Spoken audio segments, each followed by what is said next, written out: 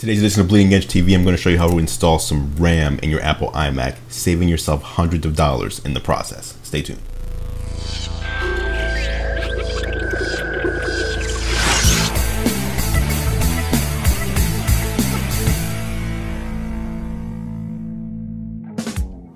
Alright, so today I'm going to show you, as I said, how to install some RAM in your iMac. Um, same kind of RAM you use in a MacBook Pro as well. Um, the iMac uses uh, notebook RAM. And um, the reason you might want to do this is because it saves you a lot of money. So if you come over here and check this out, um, this is the iMac configuration screen if you're on apple.com. And as you can see, the iMac comes with 4 gigs of RAM.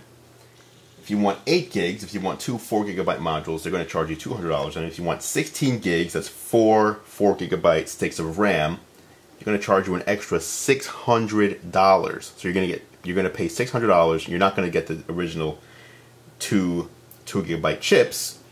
And what I have here is four 4 gigabyte chips of RAM. This cost me um, under $100. And in addition to that, I also have the 4 gigs that it came with, so if I wanted to, I can sell that or trade it in if you go to Other World Computing at macsales.com you can actually trade in your old RAM and get credit for it, or you can sell it on Craigslist or eBay. So you can pay $600 to Apple to not do it yourself, or do it yourself, pay you know a nominal fee, and it's actually very simple. It might scare you to think of uh, opening this thing up and putting RAM in it, but I'm going to show you exactly how to do that right now. So first thing you need to do is shut down your computer. But before I do that, let me show you what I've got going on here. So as you can see, um, in my iMac here, I have 12 gigs of RAM. And the reason that I have 12 gigs of RAM in there is because I actually got it with 4 gigs. And I ordered uh, the same kit from somewhere else, cheaper RAM. Took the chance on some cheaper RAM and it wasn't that good. So um, I have the original 4 gigs plus an additional 8 gigs because the other 8 gigs didn't work. And that's this right here. This Corsair RAM didn't work out so well. So I'm going to take all the RAM out of there, replace it with the, the Other World Computing RAM, which I know is good. I've used them plenty of times. Don't know why I didn't use them in the first place this time around. So first thing I'm going to do is just shut down the computer. You do not want to do this uh, with your computer on. Electrocute yourself, ruin your computer, ruin your RAM. Who wants to do that? So here it is. We're shutting down. Um, you're going to need one tool. It's just a simple screwdriver uh, Phillips, Phillips head screwdriver, and then we're just going to get underneath this uh, panel here on the iMac to open it up. So now we'll just wait for it to shut down. What I'm going to do now, that everything's shut down, I'm just going to disconnect everything from the back um, so I can kind of lay the iMac down without the cords getting in the way. Everything's removed from the back, and I'm just going to lay it down. Tilt it down like that. Okay, now if you come in here, here you see there's three screws. One, two, three. You just need to unscrew each of those. That's where the RAM is, is stored. So just remove those screws. Oops. That should be good. There we go. So in there we've got four RAM modules. And the way you get them out is you pull on these things. So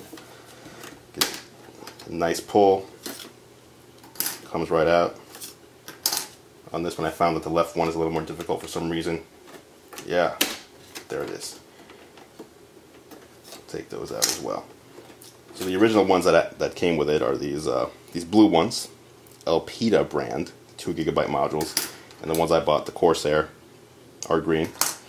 Um, so you got four RAM slots in there room for four. I'm going to open up the other RAM and put it in there.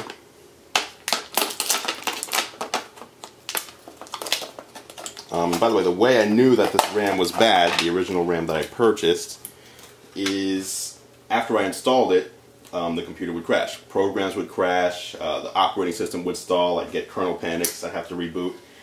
If you install new RAM and that happens, especially in a new computer, you might be thinking you just got a bad computer. It's probably the RAM. So, And the easy way to test that is to just put other RAM in there and see if you get the same issues. If not, it's the RAM. So, here we go. We're going to install these. So I'm going to start with the rear. Just kind of fit it, fit it into the slots there. And you want to push it in until you hear a click. And you'll feel it. You might not hear it, but you'll feel it. And I just felt it click in. Grab the next one. I'm going to put it in the top slot there. You want to try to line it up correctly because if not, it can actually get stuck in there and you have to get some pliers. And it clicked in. So there, that's 8 gigs right there. Next slot on the left. Just going to line it up like that. Then you just want to push it in.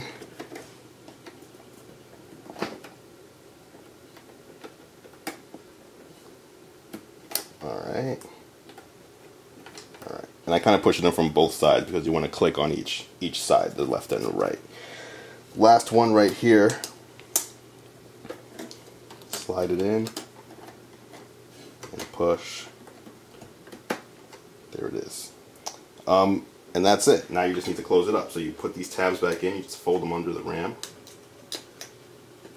Just like that. Next one. Kind of find got to find the space between the RAM and like the, the side of the Mac. And there it is. Um, now I just need to screw this back in. Like that's done. So that's what Apple wants to charge you 600 bucks for, which we just did. It just took what three, three to five minutes, plus ordering it. If you order an iMac and you just order the RAM, it'll be there at the same time. Spend some time doing this. All you need is a screwdriver. Now we're just going to screw this thing back on. A little grill to protect the RAM.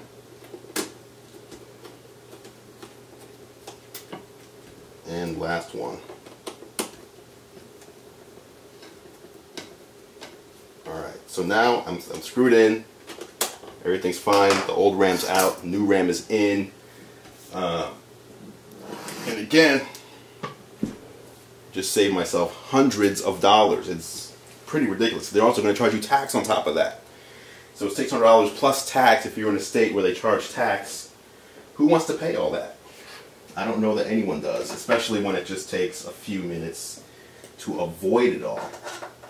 So now what I'm going to do is just plug everything back into my Mac like I had it. That's it. That's all there is to it. Now I'm just going to turn the Mac back on and we'll verify that I've got 16 gigabytes of RAM in there. Alright, logging into the computer here. Stuff is going to start popping up. Probably going to hear audio. Let me mute everything. Because all we care about right now is this. More info. Memory. Whoops. See, stuff is popping up. 16 gigabytes of RAM. I don't know if you can see that or not, but it says it right there. Memory, 16 gigabytes, RAM. That's how quick and easy that was to save yourself $600. Well, I guess minus the cost, you pay 100 or whatever. Easy, quick, simple. Um, you can do it yourself. Pretty much anyone can do that. All you need is this. All you need is a little strength to turn your Mac over to its side, unscrew three screws, and pull a couple of tabs out, and then insert the RAM, and then rescrew it. That's all it takes. Five minutes will save you way more. You'll you'll get back way more money in that five minutes than you probably get doing spending five minutes doing anything else that you can think of. If you can think of something else, let us know in the comments. But that's pretty much it. I'll give you a link to where you can buy this RAM uh, macsales.com is what we like, but I'll put a link there.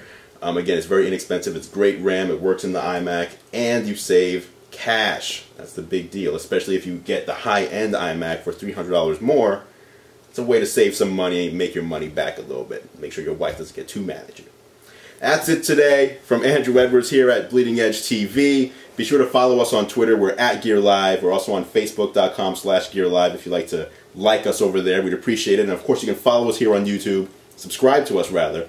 YouTube.com slash Gear Live to get notified whenever we publish a new tech video, how to, unboxing, whatever it is. Until next time, stay tuned for more tech news through the eyes of GearLive.com.